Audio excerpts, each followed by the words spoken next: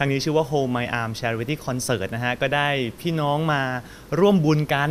ทุกๆ ปีฮะก็จะจัดกิจกรรมนะฮะ ได้เจอกับน้องๆ พี่ๆ ทุกคนแฟนคลับอย่างเงี้ยฮะ เป็น Charity Concert คือ 100%เลย ก็คือค่าที่ค่าบัตรที่น้องๆ ซื้อเข้ามาเนี่ยทำบุญหมดเลยนะฮะ เอาไปสร้างศาลาปฏิบัติธรรมที่สำนักสงฆ์นิพาวันจังหวัดเลย ก็ไปทอดกระถิน วันนี้เสร็จปุ๊บอีก 2 วันก็บินไปจังหวัดเลยเลยอามก็ไปทอดกระถินเลยค่ะ ครับ ได้มาร่วมบุญกับน้องอาร์มดีใจมาก ๆ ค่ะก็เมื่อคืนไปดูคอนเสิร์ตพี่แนนมา เออไปมาพร้อมกับอาร์มนั่งด้วยอยู่ข้างๆกัน เออคอนเสิร์ตประภาสสามก็เจอกันนะคะ แล้วก็วันนี้ก็ยินดีที่ได้มาร่วมงานนี้ที่มี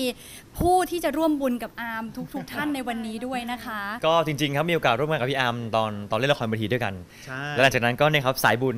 สายบุญแบบเดียวกัน ยินดียินดีครับเพราะว่าคือผมเป็นคนหนึ่งที่เราเราก็ชอบชอบร้องเพลงอยู่แล้ว พอพี่อาร์มชวนมาปั๊บผมก็รีบมาเลย